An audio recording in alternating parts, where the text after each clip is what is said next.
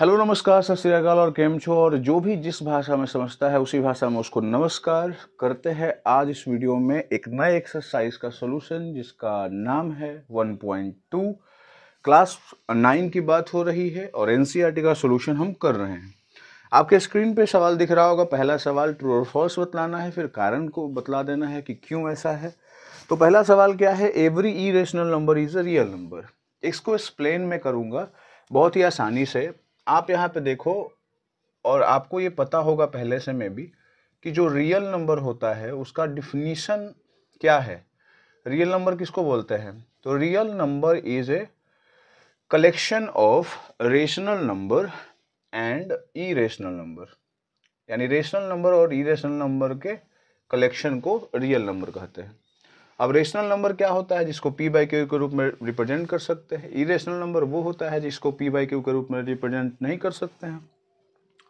है ना? तो रेशनल नंबर का अलग ग्रुप है इरेशनल नंबर का अलग ग्रुप है। रेशनल नंबर में कौन आ जाएगा? टू बाई थ्री आ सकता है, सिर्फ़ थ्री आ सकता है माइनस टू आ सकता है। है ना? रूट अंडर फोर आ सकता है बिकॉज़ रूट अंडर फोर का वैल्यू क्या होगा? टू होगा। तो ये सारे नंबर जो मैंने अभी बतलाया आपको, इससे, इसके अलावा तो बहुत सारे हैं।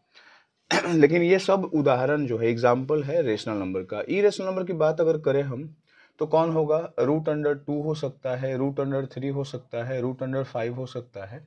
इस तरह का जो कलेक्शन होता है, वो ई रेशनल नंबर का कलेक्शन होता है। सवाल क्या पूछ रहा है कि क्या हर एक irrational number real number हो सकता है? तो कितना सिंपल सवाल है। और इसका जवाब क्या होगा? फ़र्स्ट नंबर का ट्रू क्यों ट्रू होगा? क्यों सही है ये? सही इसलिए है क्योंकि ये वाला और ये वाला का मिक्सर ही रियल नंबर है। और सवाल क्या बोल रहा है कि क्या ई रेशनल नंबर जो सारा है वो रियल नंबर होगा?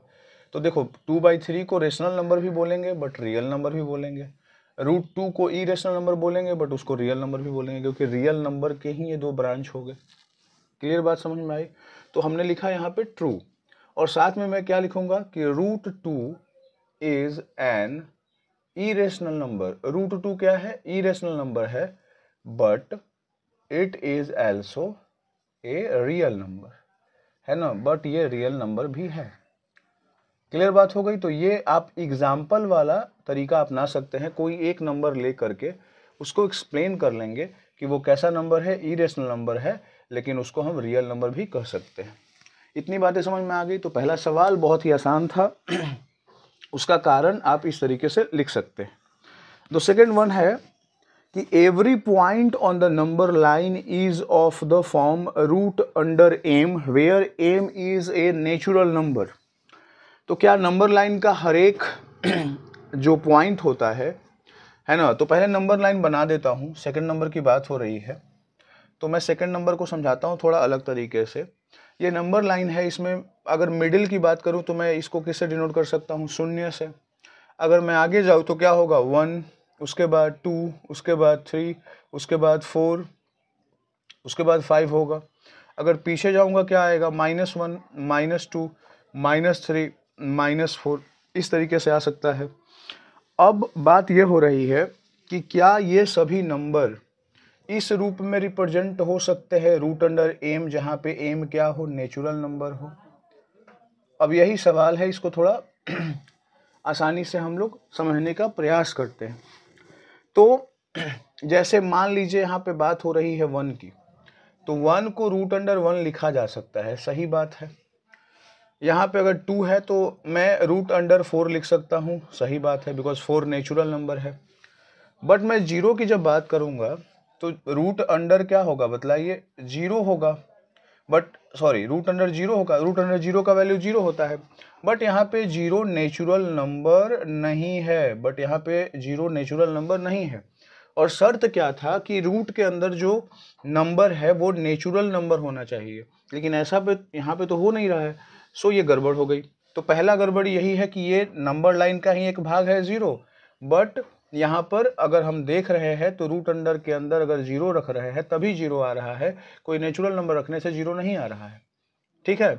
और उसी तरीके से अगर मैं बात करूँ माइनस वन की तो माइनस वन जो होता है, वो किसी भी ऐसे नंबर का वैल्यू नहीं हो सकता है जो नेचुरल नंबर हो। जैसे अगर मान लो वन है तो वन का तो वैल्यू वन ही आएगा ना? थोड़ी माइनस वन आ जाएगा। ठीक है? तो माइनस वन का रिप्रेजेंटेशन इस वाले फॉर्म से नहीं हो रहा है। अगर यहाँ पे रूट अंडर एम है और एम नेचुरल नंबर है तो। वो आगे क्लास में जानना है, जब आप इलेवन में जाओगे, एक नंबर होता है कम्प्लेक्स नंबर तो कम्प्लेक्स नंबर से ये हो जा, हो सकता है। लेकिन यहाँ पर दिक्कत हो जाएगी नेचुरल नंबर से नहीं हो पाएगा, क्योंकि रूट अंडर वन का वैल्यू वन होता है नॉट माइनस वन होता है। तो ना माइनस वन रिप्रेजेंट हो पा रहा है, ना माइनस टू रिप्रेजेंट हो पा रहा है ज़ीरो भी नहीं माइनस थ्री भी नहीं माइनस फोर भी नहीं। है ना? और ये सब हो पा रहे हैं।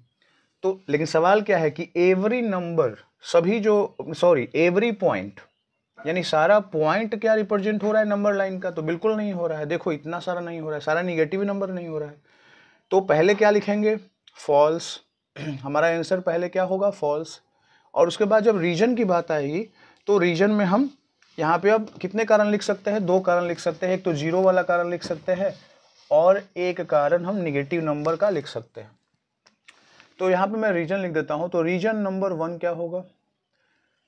लिखेंगे zero is not a square root of any natural number कोई भी नेचुरल नंबर का स्क्वायर रूट ज़ीरो नहीं होता है।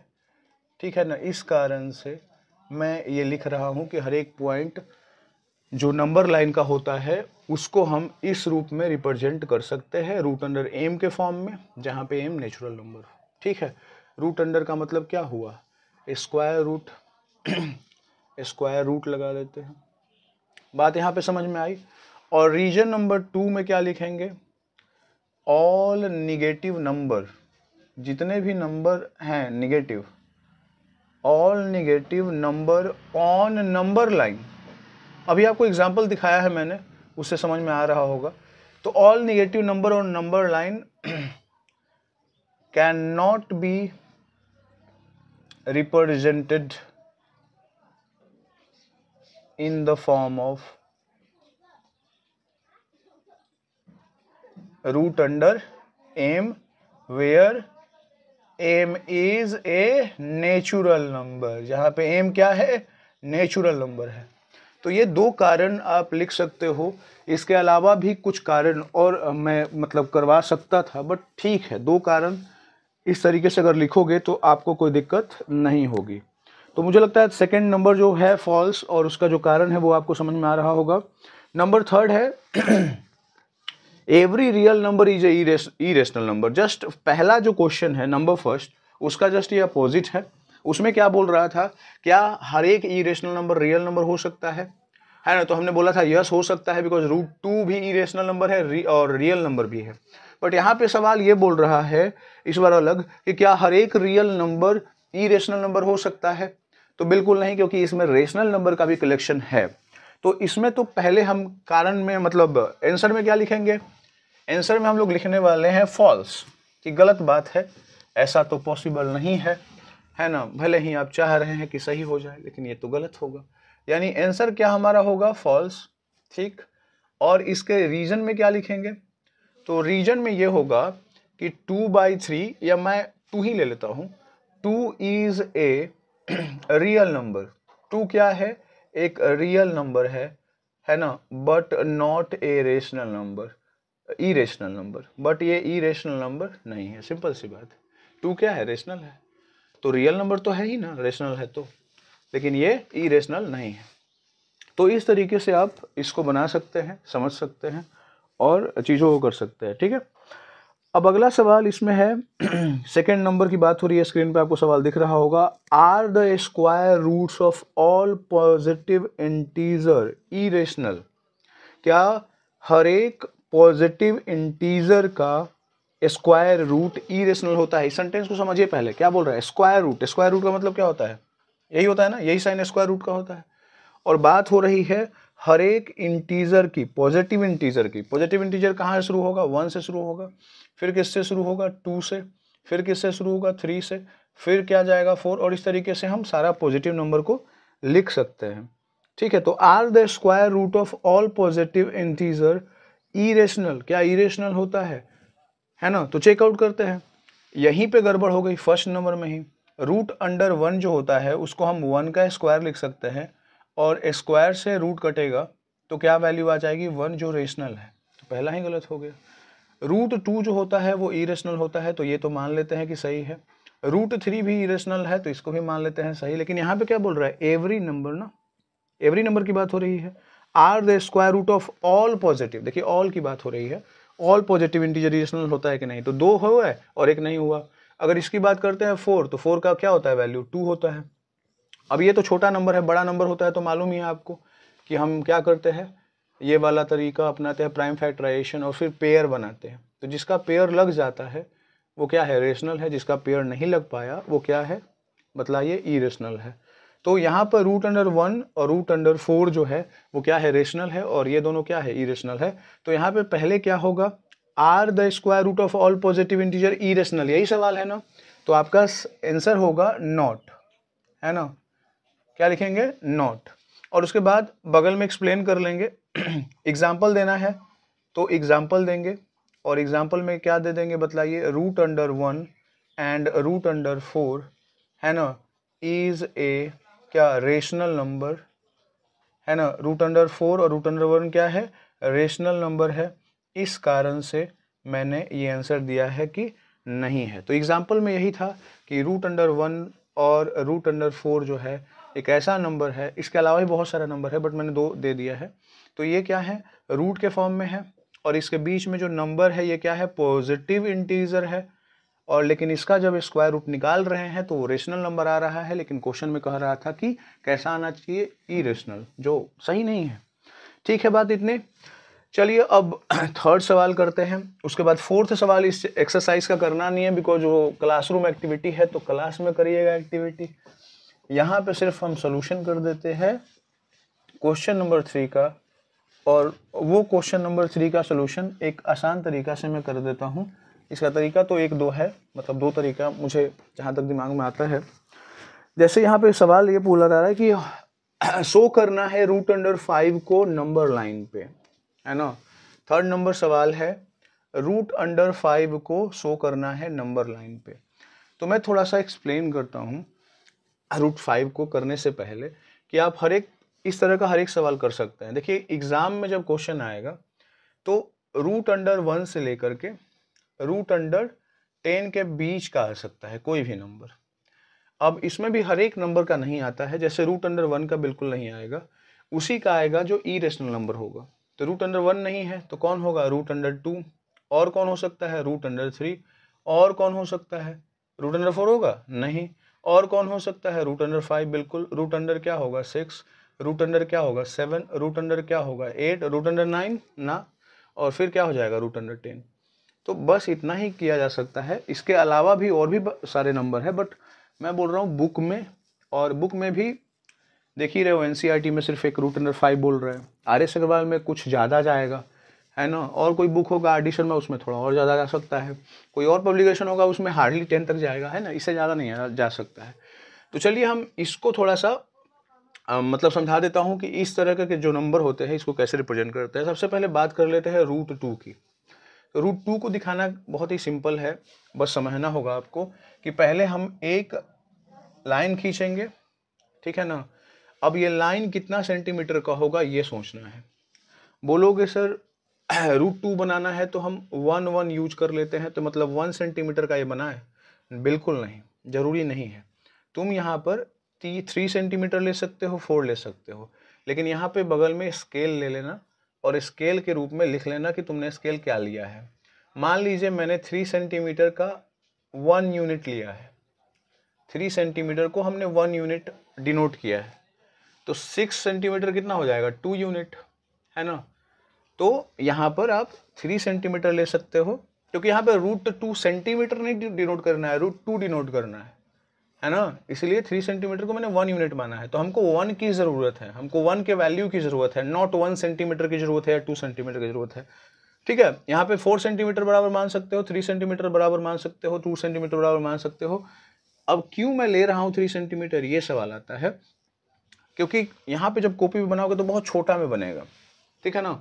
तो वो दिखने में मुश्किल होगी चेक करने में मुश्किल होगी, है ना? और ऐसे अच्छा भी नहीं लगेगा। सो पॉइंट आउट यही है कि पहले यहाँ पर हमने वन यूनिट लिया और वन यूनिट कितना का लिया बतलाइए?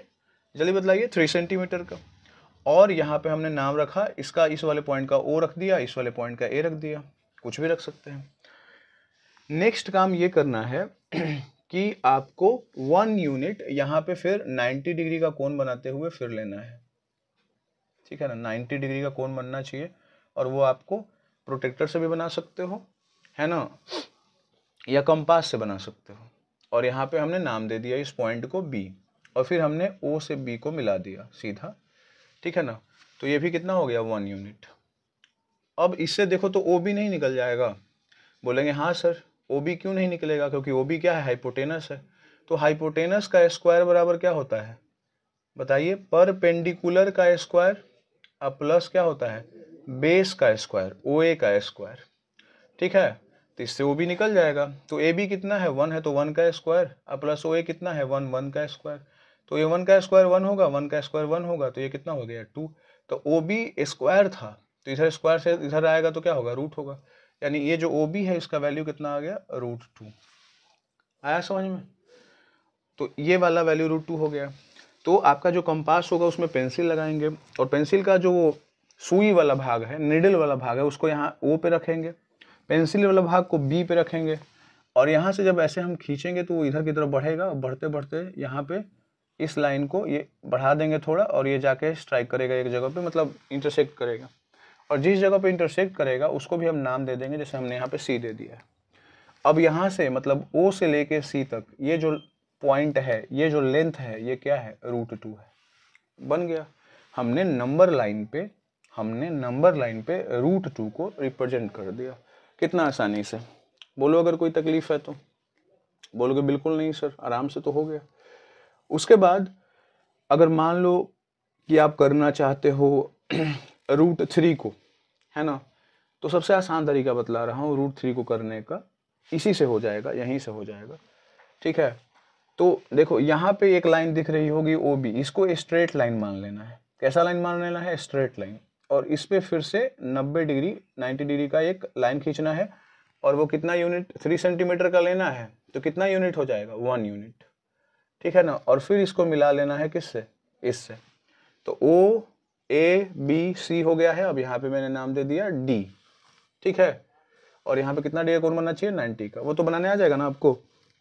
अब ये अगर रूट टू है बेस अब ये सारे पिक्चर को इग्नोर करो। ये वाला जो बेस है, ये रूट टू है, और ये परपेंडिकुलर नहीं हो जाएगा तो ये वन हो गया। है ना? अगर इस सिर्फ़ तस्वीर की बात करोगे, ये राइट एंगल ट्रायंगल है, यहाँ पे 90 है, ये सामने हाइपोटेनस हो जाएगा। तो इसमें हाइपोटेनस कौन है, बतलाओ? ओडी है। तो OD square is equal to क्या होगा? नीचे बेस है यानी ओ बी स्क्वायर अब प्लस परपेंडिकुलर यानी क्या हो जाएगा? बी डी स्क्वायर तो इधर क्या होगा? रूट टू का स्क्वायर प्लस वन का स्क्वायर रूट टू का स्क्वायर क्या होता है? टू स्क्वायर से रूट कट जाएगा ना और वन का स्क्वायर वन यानी कितना हो गया? थ्री और ओ डी अगर निकालना होगा तो क्या होगा? स्क्वायर है तो क्या होगा? स्क्वायर रूट हो जाएगा, यानी रूट थ्री हो गया। यानी ओ डी का वैल्यू रूट थ्री हो गया। फिर से निडल यहाँ रखेंगे डी पे रखेंगे पेंसिल और फिर जब उसको ऊपर से लेके आएँगे तो ये आगे जाके कहीं पे टकराएगा। और इसको हम ई e नाम दे देंगे, यानी ओ से लेकर के कहाँ तक? ई e तक, ये क्या हो जाएगा आपका? रूट थ्री हो जाएगा। अब बहुत ही सिंपल बात है रूट थ्री जब भी बनाना होगा तो आपको रूट टू पहले क्या करना होगा? बनाना पड़ेगा। तो पहले रूट टू बना लेंगे और फिर जा कर के रूट थ्री डिनोट कर सकते हैं। ठीक है? इतनी बातें समझ में आ गई? और रूट फोर तो करना नहीं है बिकॉज़ रूट फोर का वैल्यू क्या होता है? टू तो उसकी ज़रूरत ही नहीं है। तो इसको ऐसे ही कैंसिल कर लो। वन की भी ज़रूरत नहीं है वन भी कैंसिल हो गया। अब बात कर लेते हैं रूट फाइव की। तो रूट फाइव मैं थोड़ा आसान बना देता हूँ। और रूट फाइव कैसे करेंगे वो थोड़ा देख लेते हैं। तो मैंने पहले बेस समझा दिया है। अब सिर्फ़ मेरे को रूट फाइव बनाना है। और वो मैं आपको एकदम आसानी से करके दिखाता हूँ। देखिए रूट फाइव जो होता है, वो अब ऐसा दिमाग लगाना है कि कैसे हम किन किन नंबर्स को जोड़े कि फाइव आ जाए। तो देखो, बहुत ही सिंपल है। एक तो फोर को जोड़ना पड़ेगा और एक वन को जोड़ना पड़ेगा। बोलेंगे यही दोनों नंबर को क्यों जोड़ा? थ्री और टू भी तो होता है। तो बोलेंगे ये दोनों परफेक्ट स्क्वायर के फॉर्म में है, इसलिए मैंने ऐसा जोड़ा है। ठीक है? तो इससे थोड़ा आसान हो जाएगा। बोलेंगे कैसे सर तो देखो, हम यहाँ पे एक लाइन लेंगे और इस बार जो लाइन होगा वो टू यूनिट का लेंगे। बोलेंगे, क्यों? क्योंकि देखो, मुझे को फोर लाना था। दो का स्क्वायर क्या होगा? फोर और फिर हम हम यहाँ पे वन लेंगे बिकॉज़ यहाँ पे वन यूनिट लाना है तो वन का स्क्वायर क्या होता है? वन तो यहाँ पे वन यूनिट ले लिया। और फिर मैंने यहाँ से इसको मिलाया, जैसे मैंने पिछली बार किया था। इसका नाम रखा ओ इसका नाम रखा ए इसका नाम रखा बी और यहाँ पे 90 डिग्री का एंगल बन गया। और फिर से वही फॉर्मूला लगाया ओ बी क्या हो जाएगा? हाइपोटेनस तो ओ बी का स्क्वायर इज़ इक्वल टू क्या होगा? ओ ए का स्क्वायर यानी बेस का स्क्वायर और प्लस क्या हो जाएगा? परपेंडिकुलर का स्क्वायर ठीक है?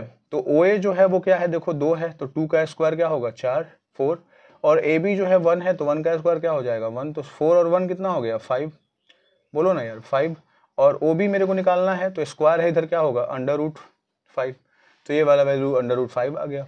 अब फिर से वही निडिल यहाँ रखेंगे ओ पे, और बी पे रख करके ऐसे ऐसे खींचेंगे तो जा करके जहाँ पे कट करेगा, उस वाले लाइन को क्या कहेंगे? उस वाले पॉइंट को क्या बोलेंगे? रूट अंडर फाइव तो रूट अंडर फाइव का हो गया रिप्रेजेंटेशन तो मुझे ऐसा लगता है कि जो पहले एग्ज़ाम्पल मैंने दिया रूट अंडर टू का रूट अंडर थ्री का, वो आपको थोड़ा ज़्यादा हेल्प करेगा समझने में चीज़ों को, है ना? एक और तरीके से इसको किया जा सकता है। जैसे मान लीजिए आपको रूट अंडर सिक्स करना है तो एक और तरीके से कर सकते हैं। पहले वाला तरीका नहीं। आपको क्या करना है वन यूनिट ही लेना है, लेकिन किस पर परपेंडिकुलर लाइन खींचना है? जहाँ पे रूट अंडर फाइव है। देखिए, मैंने यहाँ पे एक परपेंडिकुलर लाइन खींचा है ऐसे, और ये वन यूनिट ही लिया मैंने। तो यहाँ से ले करके यहाँ तक तो रूट अंडर फाइव हो गया ना अब? यहाँ पे इस पॉइंट से इस पॉइंट तक रूट अंडर फाइव हो गया। और मैं फिर से यहाँ से इसको मिला दूँगा। ये जो नया मेरा बना है बिल्डिंग ठीक है ना? और इसको मैं नाम दे दूँगा सी ठीक है? नाम रखा हमने सी और ये जो यहाँ पे ये रूट अंडर फाइव है, इसको हमने डी नाम रखा है। तो अगर आप ध्यान से देखोगे और एक अलग तस्वीर बनाओगे तो ये तस्वीर आपको कुछ ऐसा नज़र आएगा। और इसमें ये मान लो ओ है और यहाँ पे डी है और यहाँ पे सी है। तो ये जो डी हो गया, वो क्या आप डिनोट करेगा? Root under five O A जो है, वो टू कर रहा था बट मैंने ऊपर से ऐसे गिराया था तो आगे जाके रूट अंडर फाइव पे टकराया। रूट अंडर फाइव अब डिनोट करेगा डी पॉइंट पे। और ये वाला मैंने वन यूनिट लिया हुआ है। अब बतलाओ ये हाइपोटेनस फिर से नहीं हो जाएगा। तो फिर से हम वो फॉर्मूला लगा लेंगे। क्या O C square is equal to O C square is equal to क्या होगा? O D plus O D square plus क्या? D C square O D क्या है? रूट अंडर फाइव का स्क्वायर हो जाएगा। रूट अंडर फाइव है ना ओडी और डी सी कितना है? वन तो वन का स्क्वायर रूट अंडर फाइव का स्क्वायर क्या होगा? फाइव स्क्वायर से रूट कटेगा। वन का स्क्वायर वन यानी सिक्स हो जाएगा। यानी O C is equal to क्या होगा? रूट है तो इधर क्या हो जाएगा? स्क्वायर रूट और रूट अंडर सिक्स आ गया ना? यानी ये जो आया आपका ओ सी अब वो क्या आ गया? रूट अंडर सिक्स फिर यहाँ पे हम क्या रखेंगे? निडिल और सी पे रखेंगे क्या? पेंसिल और फिर आगे जाके गिराएँगे तो वो रूट अंडर सिक्स हो जाएगा। तो ये भी एक तरीका है। ठीक है ना तो इस तरीके से हमने ख़त्म कर लिया है 1.2 मिलते हैं अगले वीडियो में, अगले एक्सरसाइज का सोल्यूशन के साथ, जिसका नाम है 1.3